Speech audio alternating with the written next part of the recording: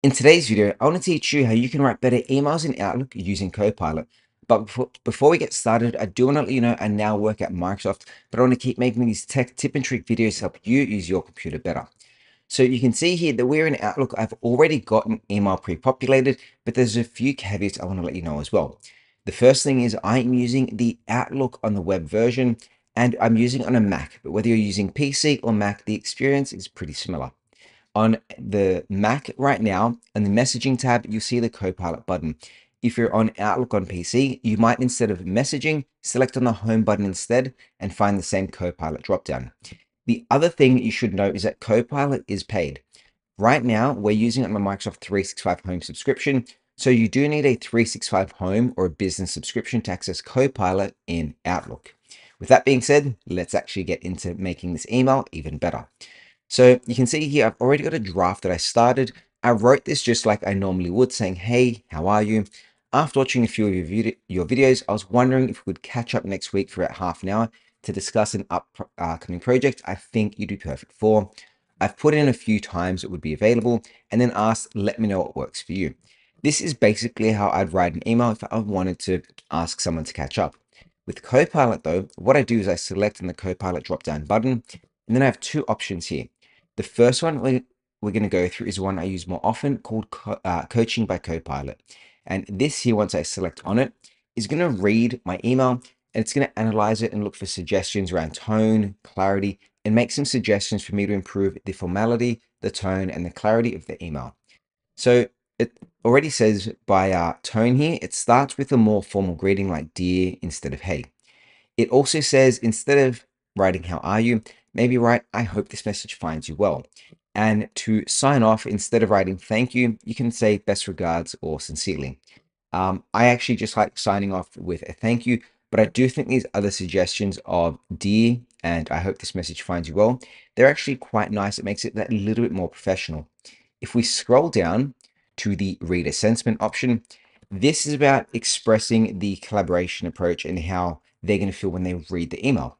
Um, so it says, why don't you add a sentence to acknowledge that person's expertise by saying something like, I've been impressed by your insights from your videos, uh, express gratitude for them thinking about uh, meeting with you, such as, I appreciate you taking the time to consider this, and of course, include a polite request for response. Please let me know if any of these times work for you. It's about making those little incremental improvements so your email becomes a bit more polished and a bit more professional. And I like a lot of these suggestions. And then, of course, there is reader clarity. So this is around seeing how easy it is for them to understand the context of the email. So it makes some suggestions like briefly describe the project and even puts in brackets here a brief uh, description. It says, why don't you include the purpose of this meeting? So it could be exploring potential collaboration opportunities. And why don't you be more flexible about the contact details? If none of these times work for you, please suggest alternative times that do suit and that do work. So here, if you're happy with these, you can simply grab them, copy, paste, or edit the email yourself. You could regenerate if you're not too happy with these ideas, or you could simply sim simply select on apply all suggestions. Click on this button, it takes a few seconds, and then it generates a rewritten version. And then from here, you have a few options to either regenerate, and this would rewrite it again in another, another way that you might prefer you can choose to insert it below and this drops it right below. Or we could have chosen to just insert it. I'll show you what that looks like now. Let's quickly undo this. And then instead of going insert below, we can simply select on replace and then it just drops it straight in ready for us to go ahead and write. So that is one of the best ways and the most common ways I use Copilot to improve the way I write emails, but there is another option as well. So I'm going to quickly delete all of this. I'm going to drop down the Copilot option and I'm going to select to draft with Copilot. This here is going to ask, what do you want to say in this email? I would like to say, please write me an email to AJ asking if he would like to meet for a potential collaboration opportunity that I would like to discuss. Obviously, the more detail you put in here, the better draft comes out. Let him know I'm available. these following times. Monday, 9 to 10 a.m. Tuesday, 10 to 12 noon, and Wednesday, all day. And then we're simply going to select on generate. So the more you put into the draft, the better a response you get. But straight away from that simple sentence, we already have an email saying, Hi, AJ, I hope this email finds you well. I'm reaching out to discuss a potential collaboration opportunity that I believe could be mutually beneficial for the both of us. I'm excited about the possibility of working together and would love to share details with you. To make scheduling easier, I'm available Monday from 9 to 10, Tuesday between 10 and 12 noon, and all day on Wednesday. Please let me know if any of these times work for you or if there are any other times that suit you better. Looking forward to your response and hopefully working together soon. Best regards and adding your name. If you're happy with this, you can simply select on keep. If you don't like it, you can discard or you can select on retry. But there's also another option here called anything you'd like to change. So we can either type in here or we can select on the edit prompt and you can choose to, there's a little filter option to make it longer or shorter, more formal, direct, or even a poem. I'm going to select on anything you'd like to change. I would say, um, let them know you've liked and subscribed to their channel. And then I'm going to select on enter. So this is going to recreate it, letting them know that I've also liked and subscribed to their channel. So you see here, this is actually, in my opinion, not as nicely written out because it is just one uh, sentence. If we go back though, you can see here is the first draft. We jump forward to the next draft. It is uh, redone.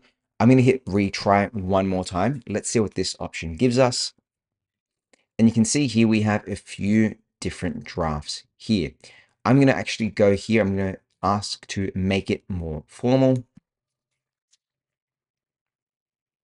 And then as soon as I selected make it more formal, it puts a Dear AJ, it breaks it down into the introduction, the body, and then the sign off. And then you can go through and you can change or select whichever one you're after. I actually do prefer the first one because I like how it's broken down into all those different little chapters. I'm going to select on keep it, and then you can go ahead and send this email off once you've confirmed that it's exactly what you want to write.